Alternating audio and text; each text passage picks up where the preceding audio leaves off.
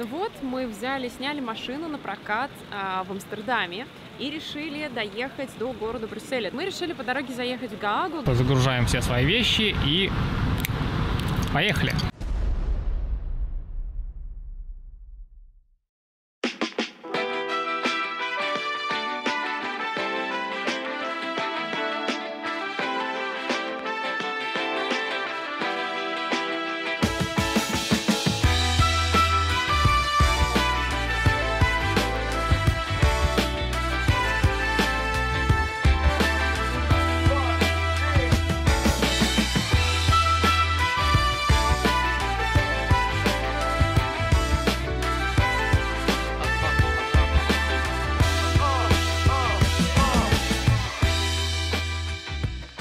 Продолжая свое европутешествие, мы решили поехать в Брюссель, в Бельгию. Для этой цели мы сняли машину в Амстердаме и отправились в путь. В ходе и Брюссель находятся в разных странах, дорога от одного города до другого занимает всего 2 часа. И по дороге мы решили заехать в прекрасный город Гаага. Гаага – это небольшая архитектурная и историческая жемчужина Нидерландов, которая уютно расположилась на морском побережье. Итак, мы взяли в Амстердаме машину на прокат, мы продолжаем наше е- путешествие по Европе, вот, и э, мы решили поехать в город Брюссель. Брюссель находится всего два часа от Амстердама, да? Хотя это и другая страна, да, Бельгия, Мгм. Но Европа такая маленькая, что от э, столицы одной страны до столицы другой страны всего 2 часа пути. Да, это очень здорово, потому что у нас есть такая возможность. У нас всего пару дней осталось до уезда, до нашего полета в Ванкувер.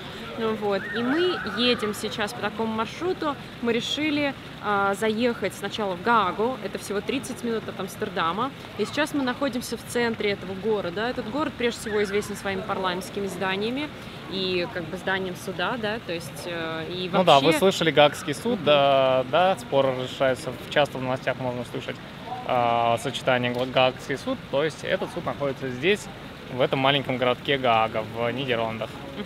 Да, а мы здесь находим, мы сюда приехали посмотреть исторический центр, и вот сейчас мы находимся в зда- э, на месте зданий парламента. Комплекс зданий, где находится парламент Нидерландов, называется Бинненхоф. Здесь также находится резиденция премьер-министра.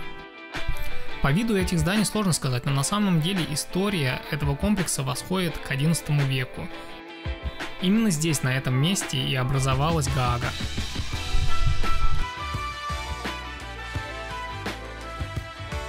В целом это место со своей архитектурой и позолоченными фонтанами оставили положительное впечатление на нас.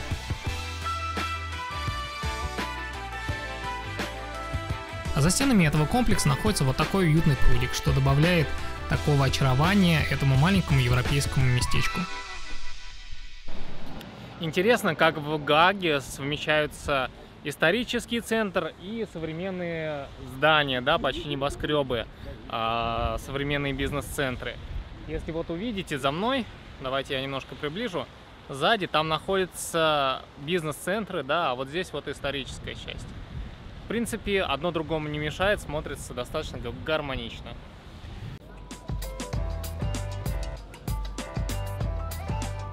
А сзади меня находится дворец Нордейнде. Это один из трех дворцов, который находится в распоряжении королевской семьи. И с 2013 года это является а, рабочим дворцом короля Вильяма Александра. То есть с 2013 года это является его рабочим дворцом. Вот такая вот история. Всего в Нидерландах, как я уже сказал, три а, дворца, принадлежащих а, королевской семье. Как в Амстердаме, здесь э, очень много велосипедистов и много припаркованных э, велосипедов можно увидеть. Но нам Гага пока понравилось гораздо больше, чем Амстердам. Просто это более спокойный город, он более такой, он как бы тоже оживленный, в нем есть своя прелесть, в нем тоже есть много кафешек на улицах, где можно посидеть, ну вот. Но Он здесь более спокойный, Мгм. он э, очень спокойный, то есть здесь нет такого вот туристического аврала, который происходит в Амстердаме, Да. да, и такого, как бы, не знаю, Никто суе- не суеты. торопится, нет такой суеты, да. Вот, посмотрите, сколько велосипедов, да? Это как бы в Нидерландах, это везде. Вот, в общем, на нас Гага производит очень хорошее впечатление. И, как и везде в Европе, маленькие городки, как правило, выглядят гораздо лучше, чем э, большие столицы. И действительно, Гаага создает очень приятное впечатление такого уютного городка, который не сильно большой и не сильно маленький. К тому же очарование этому городку придает прекрасное морское побережье с огромным пляжем, на который съезжаются даже люди из Амстердама. Туристы в первую очередь едут за архитектурой и историей этого города. Здесь находится множество типичных для Голландии зданий 17 века в стиле ренессанс и барокко. Отдельного внимания заслуживают художественные музеи Гааги. Здесь собраны работы художников и архитекторов мирового масштаба, такие как Моне и Пикассо. В городе тут и там разбросаны симпатичные кафе и ресторанчики, Помимо ценности архитектурной и исторической, Гаага несет в себе ценность экономическую. Это современный бизнес-центр, в котором находятся офисы многих крупных компаний. Ну а местные шопинг-моллы оставили неравнодушным даже такого противника шопинга, как я. Вообще Гага это тот город, в котором хочется остаться жить. Если мы, конечно, и так не жили в самом лучшем городе планете, Ванкувере. Ну а вот и главная знаменитость Гааги – это Гаагский суд или Дворец мира –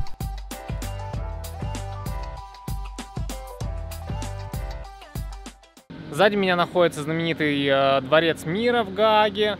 Э, именно здесь находится тот самый знаменитый Международный суд ООН. Около дворца на всех языках мира написано слово «мир». И вот в том числе мы нашли мир на русском языке. Ну что, пошли дальше? Пошли. Как бы нехорошо было в Гааге, к сожалению, время не ждет, и нам пора ехать в Бельгию. Вот, так что загружаем все свои вещи и поехали.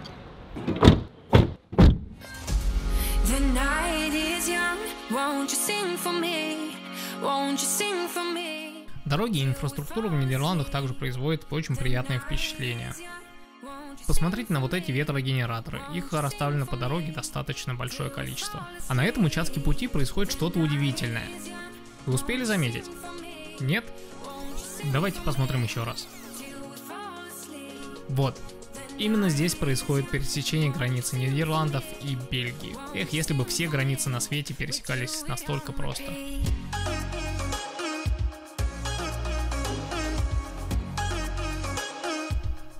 А вот и Брюссель. Он сразу встретил нас своей основной достопримечательностью – атомиумом.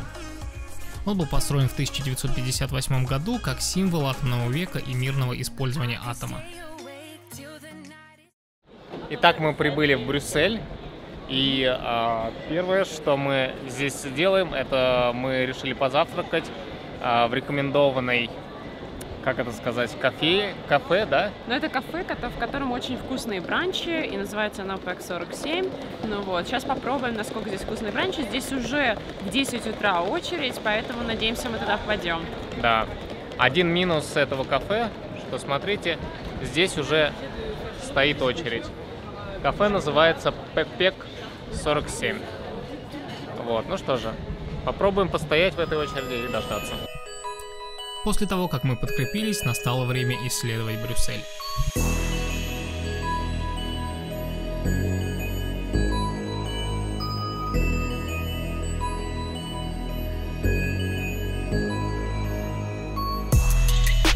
Бельгия – это страна контрастов. Это достаточно молодая страна, которая получила свою независимость в 1830 году. До этого территория Бельгии принадлежала другим европейским а, государствам, таким как Испания, Франция и Нидерланды. Соответственно, в Бельгии существует контраст архитектуры. Здесь вы можете найти влияние и Франции, и Нидерландов, и Германии. Как и языки в Бельгии, здесь существует три официальных языка. Это французский, а, нидерландский и немецкий язык. Контраст Бельгии и, в частности, Брюсселя заключается еще в том, что при наличии роскошной, красивой архитектуры улицы города выглядят немножко беднее и грязнее, чем в тех же Гааге и Амстердаме. Но вот что Брюсселю не занимать, так это действительно роскошной архитектуры.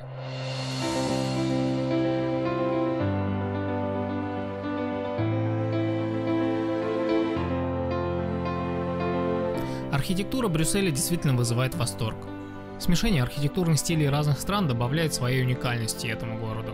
Как я уже говорил, свой вклад в архитектуру Брюсселя вложили такие страны, как Франция, Германия, Нидерланды и Испания. Благодаря этому городской пейзаж разнообразный и совершенно не скучный.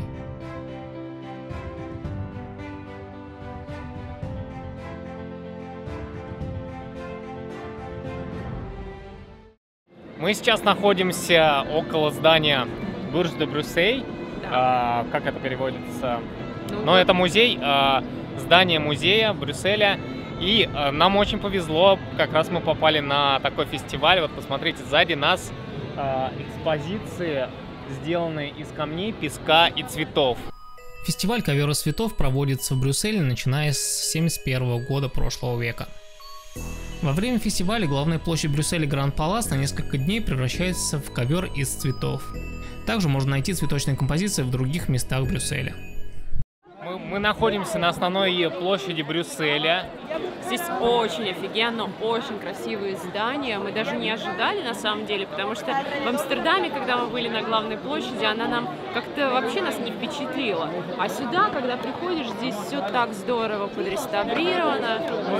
Очень много золота, очень много красивых, э, красивой отделки на зданиях. Да, эта площадь, конечно, очень впечатляет. Посмотрите, вот давайте я покажу. Вот здесь а, сколько всего резного, да, сколько лепки всякой, сколько цветов, да, как Влада сказала. Очень много мелких деталей. Посмотрите. Это очень здорово. Да, позолоты сколько много. Вот, очень красиво, классно. Мы, нам очень нравится. И вот здесь на главной площади тоже а, проходит вот этот вот фес- фестиваль цветов. Сейчас попробуем его снять. Мы стоим в очередь на обзорную площадку, а, с которой Очередь можно будет посмотреть на ко- цветочный ковер. Да, то есть сейчас фестиваль, который проходит, это называется «Цветочный ковер 2018», Мгм. насколько я понимаю. Смотрите, какая очередь. Вот эта очередь на саму площадку. Это очередь, которую мы уже отстояли, наверное, минут 40, да, Да. если не час. Вот, постепенно подходим. Но на самом деле надо сказать, что а, само стояние в очереди это не такая уж скучная а, вещь. Посмотрите сзади нас, какая комната, тоже такие статуи. А, Вот эта комната деревянная. Мы прошли несколько гобеленов, а, мы прошли несколько картин. То есть 40 минут нельзя сказать, что мы провели зря.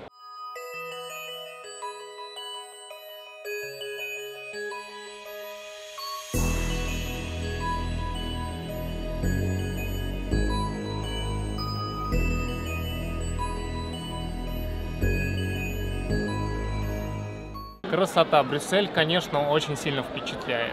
Да, вообще очень-очень красиво, и, отсюда нам вид- повезло этот ковер увидеть сверху. Да, ви- вид отсюда супер. потрясающий просто. Видно всю площадь, видно, как много здесь сегодня народа, потому что это действительно один из таких популярных очень фестивалей здесь. Да. И особенно это очень здорово попасть сюда после того, как ты 40 минут простоял в очереди. В следующий раз покупайте билеты заранее. На самом деле, а, сегодня 17 августа, да, а 16 августа этот э, фестиваль был подготовлен. То есть э, молодцы, э, бельгийцы постарались к нашему приезду. Да. Двое в каноэ, они услышали, что мы приезжаем, и выслали такой ковер. Молодцы.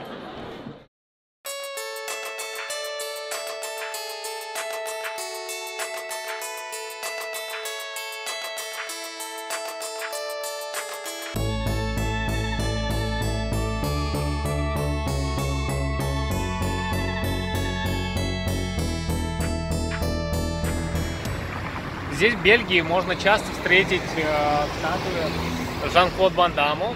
А, как вы все знаете, он родился в Бельгии. Да, то есть это местный герой. И, э, И вот самое интересное, первая статуя, которую мы увидели, это именно Жан-Клод Ван Дамму. Да. То есть это как будто самый выдающийся человек в Бельгии. Вот, ну, очень интересно, очень классно. Ну, насчет того, что часто можно встретить эту статую, я, конечно, немножко приврал. Статуя всего лишь одна в Брюсселе. Она была торжественно открыта в 2012 году. Люди сами выбирали, кого увековечить в памятнике на этом месте, и победил Жан-Клод Ван Дам. Ну, судя по его фильмам, он всегда побеждает.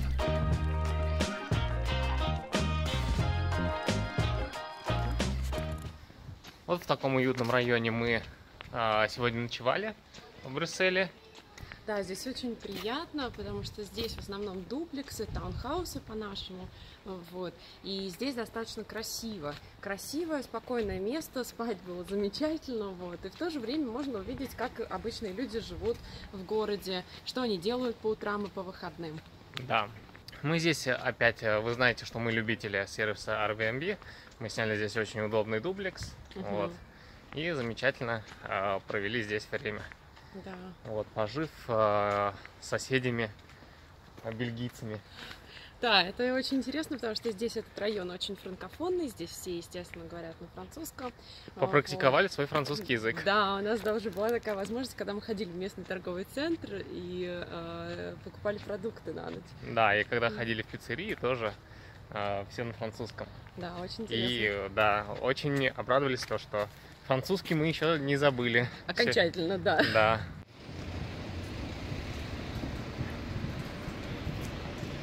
Гуляя по Брюсселю, а, случайно наткнулись на русскую надпись «Европейское искусство и живопись».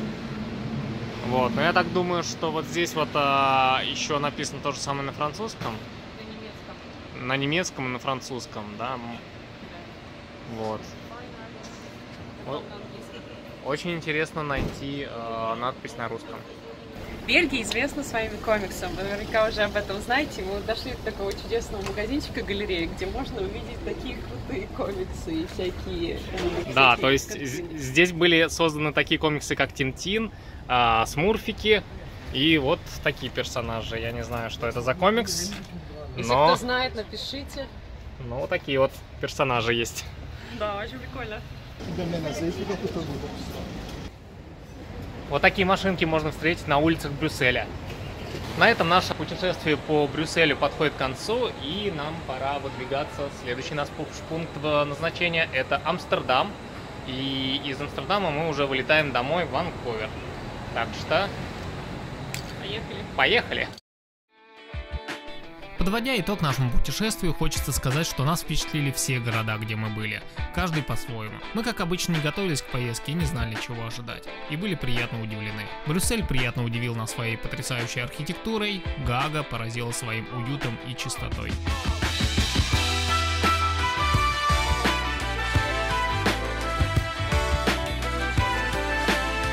Каждом из этих городов есть много всего интересного. Если вы любите исследовать города с богатой культурой и историей, вам определенно здесь понравится.